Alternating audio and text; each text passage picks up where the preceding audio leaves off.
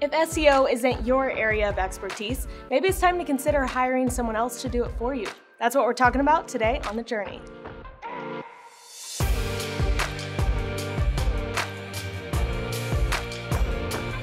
You could have the most beautiful, relevant website, but if it's not optimized and optimized correctly, then it might as well not even exist. Sam, think about when was the last time you bought something online?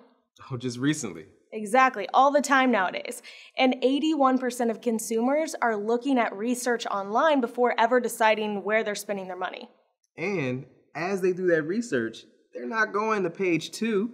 Less than 10% of people actually go beyond the first page on Google and when they're looking for some product online. Anything beyond page one is like the unknown. Doesn't exist. Your business needs to have a strong online presence these days. If you can't be found, then it's essentially like your business doesn't exist. So that makes having SEO a necessity as well.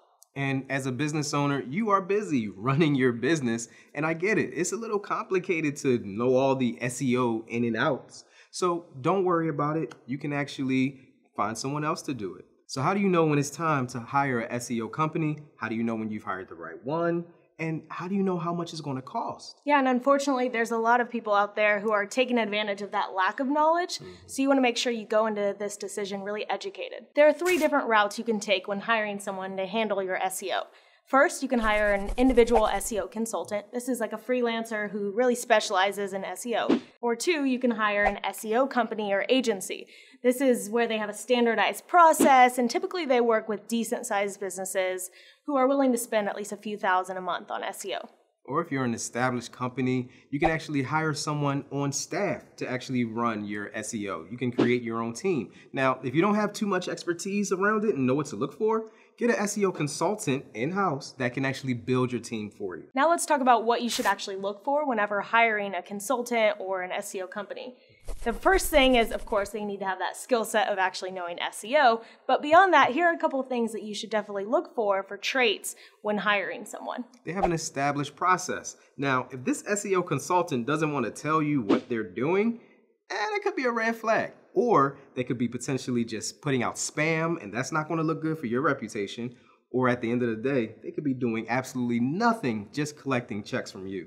Again, that's not what you want. The biggest red flag is when someone says they guarantee results or, oh, Google won't catch it those are huge areas of concern, probably run the opposite direction because you're talking to the wrong company. There are two main reasons that you can't predict rankings. Mm-hmm. First, Google and these search engines can always change, they're always adapting, so there's no way you can predict that. And two, your competition can always change. So if they don't know what your competition's gonna do, then they can't anticipate that. There's nothing that they can actually set in stone as far as guaranteed rankings. So the next quality to look for are they providing monthly reports or progress updates? That is so important because everyone wants that ROI. You want to return on what you're putting into this. In my current role, I know we are specific and when we tell our clients, hey, after 90 days, we're going to have a performance kit that we're going to send to you. So it tells you where we are right now, what we've done, and so that we can plan for the future. That SEO consultant should have the same kind of game plan for you check-ins on a monthly basis, letting you know what has been done and what can we could do to actually make things go better in the future. Yeah, things like detailed traffic stats and conversion analytics. Those are going to be really important with helping you see whether or not their SEO efforts are actually paying off. So the next quality, they provide training for your team. Now, it's important for you to know that everyone is on the same page. So everyone in your organization can get some training from this SEO consultant. Also, you get to learn more about your SEO consultant in that way. Now, I know for me, in my role as an account manager, many business owners, they just want to know more about social media. So I give them as much education as they would like. On your end, maybe you want to know more about SEO and your team so that potentially down the line, you might be able to do this on your own. So having that SEO consultant provide that education can be really beneficial for your whole entire organization. They should also provide a list of people who will be working on your website with each role outlined. It's important to know who's actually going to be doing this work and what's their expertise. You want to make sure that you're not hiring a company that's just going to rely on some junior roles to actually handle your account just to save money for them and just because this person has some time on their hands. So they also have reviews. It's super easy to just get your friend, family members to leave reviews, but these should be credible people that have used the service, they're excited about it, and they left some positive feedback about the service. So make sure to do your due diligence. Make sure you get names, titles, business names of these people who have left these reviews. And if you're still not sure, go the extra mile and look them up on LinkedIn so you can actually find that these are actual people. The last thing to consider is take a look at their website and their SEO experience. Is that something that you would be proud to have? And it's important to know that these people are doing for their own business what they say that they can do for yours. All right, so how do you know when to actually hire someone to handle your SEO? We know it can be a challenge, so we've come up with a couple questions that you should ask yourself in order to find out if it is the right time. So, for the first thing to consider, do you want to use SEO for the long term to generate revenue? If the answer to that question is yes, then partnering with an SEO company can help you generate that ROI over time. The next question to ask yourself is Are you using other digital marketing strategies? I tell my clients this all the time. It does not matter if you're being found, if you're not going to be chosen. Mm. You have to make sure that your pages are set up properly, your website looks great. Consumers are really smart. They're going to do their research. They're not ju- they're not going to just pick someone because they're at the top of the list. They're going to start comparing businesses side by side, and you have to make sure that your presence looks really great so that you're not just being found but you're being chosen. So if you're not using digital marketing tools, then SEO may not just be the one end all to be all that you want to have.